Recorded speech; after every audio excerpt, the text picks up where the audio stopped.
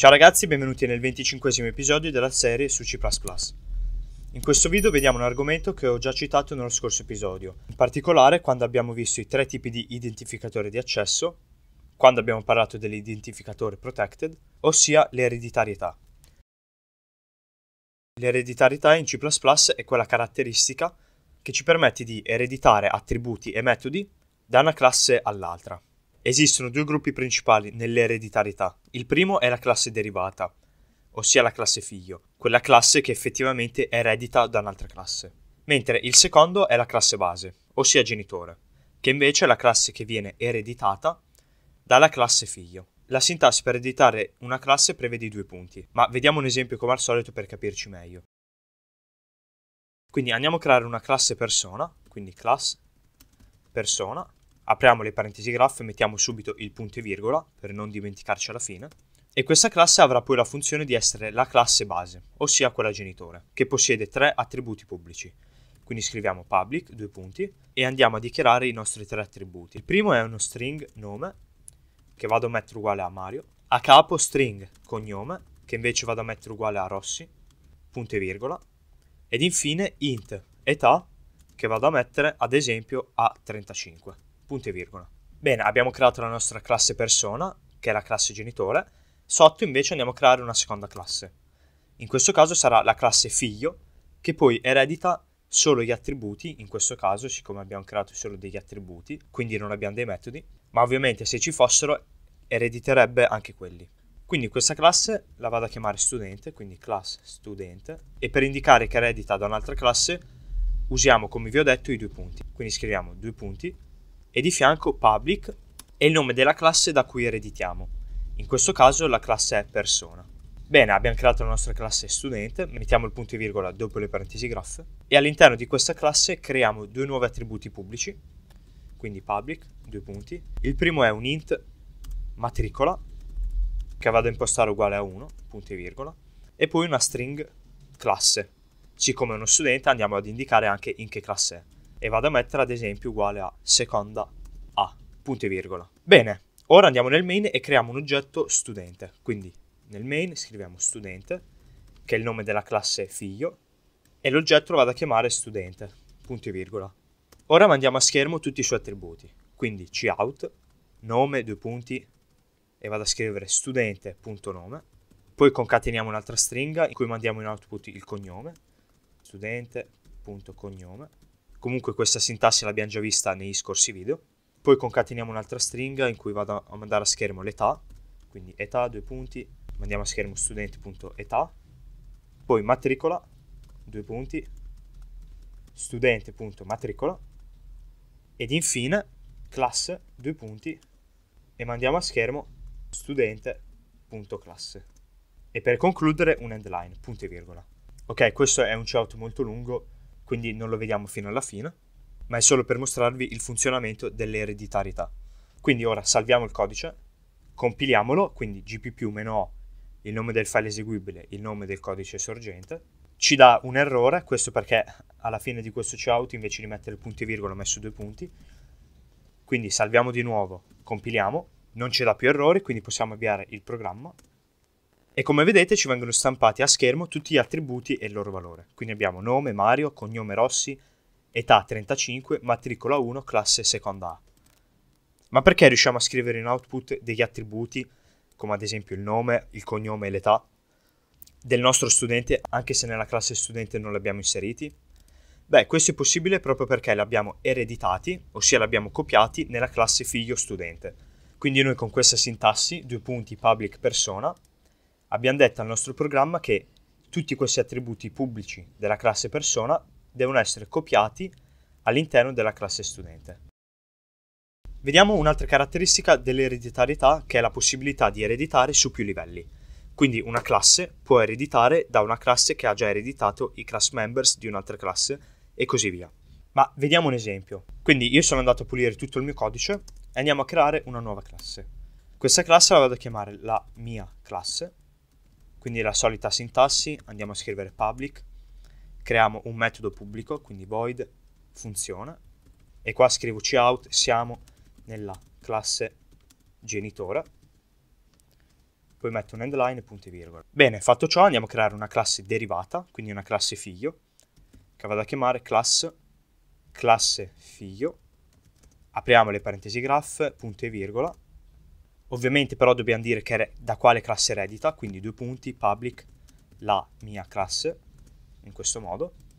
In questo caso vado a creare un metodo pubblico che vado a chiamare funzione figlio e questa volta scrivo cout classe figlio endline punto e virgola ed infine vado a creare una terza classe che vado a chiamare nipote quindi classe nipote questa volta questa classe non eredita dalla classe principale che abbiamo chiamato la mia classe bensì erediterà dalla classe classe figlio quindi scriviamo due punti public classe figlio. Poi questa classe la lasciamo vuota e nel main andiamo a creare un oggetto della classe nipote. Quindi scriviamo classe nipote e vado a chiamare oggetto e poi da questo oggetto andiamo a richiamare sia la funzione normale, quindi oggetto.funzione, che è la funzione della classe genitore, e poi a capo richiamiamo la funzione della classe figlio, quindi fun- oggetto.funzione figlio.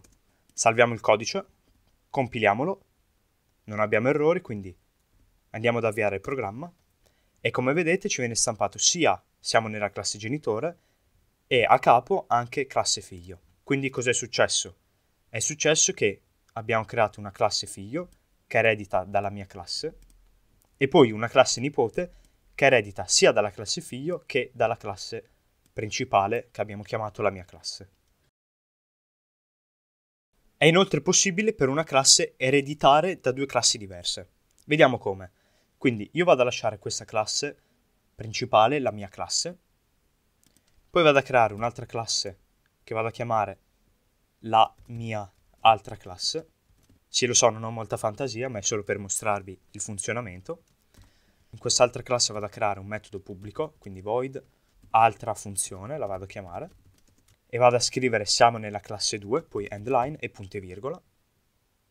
Ed infine andiamo a creare la classe derivata, quindi class, classe derivata, la vado a chiamare, che eredita sia dalla classe, quindi public, la mia classe, poi virgola, e gli diciamo che eredita anche la classe, la mia altra classe. Quindi la classe derivata, gli stiamo dicendo con i due punti che eredita sia dalla mia classe, ossia la classe principale, e sia dalla classe che abbiamo chiamato la mia altra classe.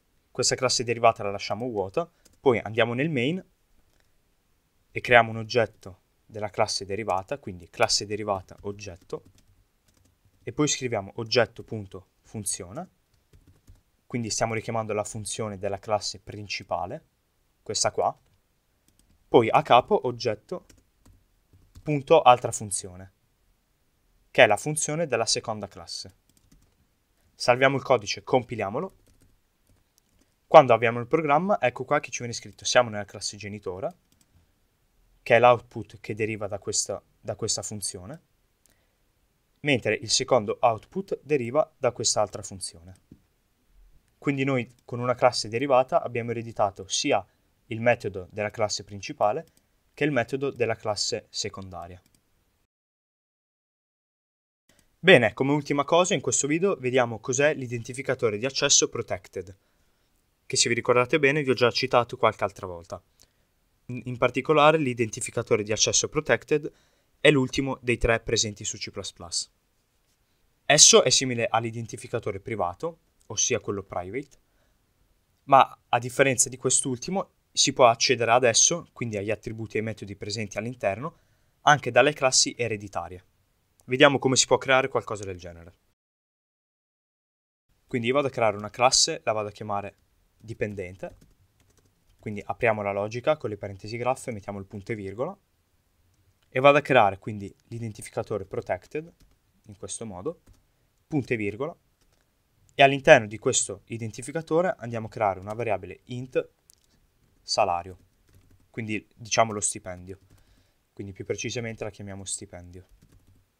Bene, poi creiamo un'altra classe, la classe derivata, questa classe la vado a chiamare sviluppatore, che ovviamente eredita, quindi due punti public, eredita dalla classe dipendente, quindi scriviamo public dipendente, apriamo le parentesi graffe mettiamo il punto e virgola, e all'interno di questa classe derivata creiamo l'identificatore public, in modo che questi attributi e metodi siano accessibili dal main. In particolare dichiariamo un int bonus, quindi che è un bonus sullo stipendio, e poi una funzione void cambia stipendio. Quindi questa funzione si occuperà di cambiare il valore del nostro stipendio. In questa funzione richiediamo anche un parametro che vado a chiamare int x e nella logica vado semplicemente a scrivere che stipendio è uguale ad x. Quindi noi stiamo modificando una variabile che non è all'interno di questa classe, bensì viene ereditata tramite l'identificatore protected dalla classe dipendente. Fatto ciò creiamo anche un metodo set per avere accesso al, al valore dello stipendio, quindi scriviamo int get stipendio e semplicemente in questo metodo scriviamo return stipendio. Perché mettiamo questo get? Perché appunto noi dal main non possiamo accedere alla variabile stipendio, siccome protected, e quindi creiamo nella classe derivata, all'interno del public, un metodo per leggere questo valore. Poi andiamo nel main, creiamo una classe sviluppatore, quindi sviluppatore, che vado a chiamare oggetto, e poi scrivo oggetto.cambia stipendio, e diciamo che lo stipendio di questo sviluppatore per esempio è 50.000, poi a capo oggetto.bonus, quindi che andiamo a modificare il bonus, e come vedete noi possiamo accedere a questa variabile siccome è pubblica, impostiamo questa variabile ad esempio a 15.000. Poi a capo mandiamo a schermo il valore dello stipendio, quindi scrivendo cout stipendio, due punti, e mandiamo a schermo oggetto.get stipendio, poi un end line, e mandiamo anche a schermo a capo il valore del bonus, quindi bonus, due punti, oggetto.bonus. Anche in questo caso end line e punto e virgola. Ora salviamo il codice, compiliamolo, quando avviamo il programma ecco qua che ci viene mandato a schermo stipendio 50.000, che è il valore che abbiamo impostato tramite la funzione cambia stipendio, e poi il bonus 15.000. Quindi, a cosa ci serve il protected? Ci serve in quei casi in cui noi vogliamo che questa variabile sia privata, quindi non accessibile dal main, ma che comunque una classe derivata gli possa accedere. Infatti noi dalla classe derivata sviluppatore siamo stati in grado di modificare il valore del nostro stipendio. Questo grazie a una funzione che noi abbiamo chiamato cambia stipendio, che aveva ad impostare lo stipendio uguale ad x. Bene, come al solito per qualsiasi dubbio o domanda lasciate un commento qua sotto, mettete like al video per supportarlo con l'algoritmo di YouTube e noi ci vediamo nel prossimo video.